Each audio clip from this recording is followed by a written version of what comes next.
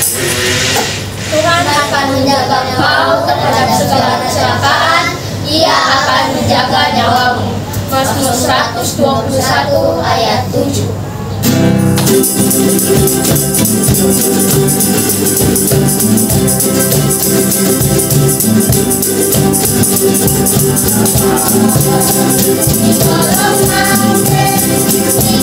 Follow di